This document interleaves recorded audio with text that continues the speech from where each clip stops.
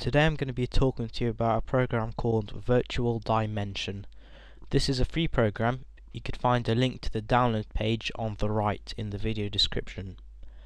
What this program does is it allows you to have different desktops so that you can have different programs opened at the same time but yet they're not bunched together. So I've got Notepad open here on my main desktop. Then I could switch to my secondary desktop and notepad won't be open. And I could go back and notepad will be there. Then I could drag notepad to the second desktop and then it'll be on the second desktop here. So it's just for organization if you wish. And you could also assign hotkeys so that you could easily switch without clicking like this. So what this can help you with is if you don't want someone to see what you're doing you could just quickly use a hotkey and switch to another desktop with something you don't mind them seeing. Okay, let me go through the settings with you.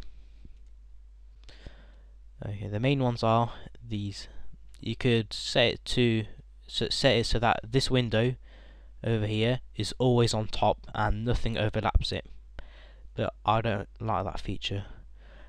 And you could enable the tray icon so that you can see this and you could enable the tips of the tools like this. And then you could alter all these settings but they're not that important. Then you've got the display which is what you see here. So I've got just a normal grey background but you could change it to a picture like that. And you could also change the transparency around but that's not really that important. And here this is probably the screen that most of you will actually be interested in. This way you could add new desktops. So I've got four, my main one, secondary one, third and the fourth. Then you could insert a desk desktop and you can see it gets inserted here so you could go to that one and you could insert quite a lot but I'm happy with the four I've got and you can change the number of columns so that say if I've got seven if I insert a desktop instead of starting a new row it'll carry on filling that column. It'll carry on adding columns until it reaches 7. Okay, let's remove these. And then you can configure the, desk the desktop by naming it. And this is the wallpaper. You could change the wallpaper, but if you want it to have the same wallpaper as your main one, just leave it like this. You may have to restart it if you restart your computer if you've changed the wallpaper on your main window on your main desktop so it applies the change to the other desktops if you get what I mean. And you could set a hotkey so that you could easily go from one desktop to another. To get to the fourth one I've made it that so you have to press alt and 4 so when I press that it'll jump to the fourth desktop. And colour I have no idea what this does. And maybe it's to change the text colour but I don't think it's anything important. Okay then you've got this just to put an extra name on top of this. It's nothing important really.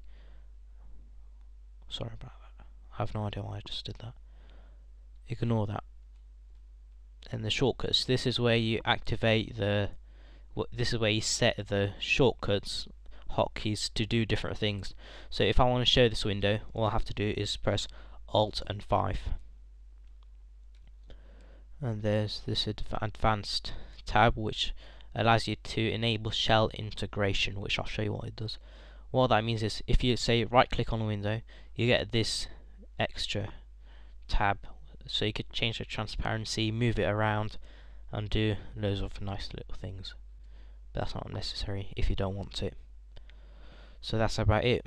The program's free as I mentioned earlier and I highly recommend it it's not being updated anymore because whoever made it has abandoned it but it still works well. I haven't come across any glitches or bugs or problems so you should be safe to use it.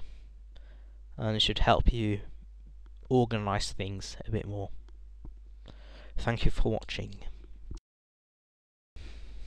Um, I'm aiming to get a thousand subscribers and I can only do this with your help. I realise that a thousand is a lot, and I probably won't get there anytime soon, but I've got around 400 now, just over 400, and I'm very thankful to all those that subscribed, so thank you to those that have helped me along and thank you for all the comments that have been left on my videos.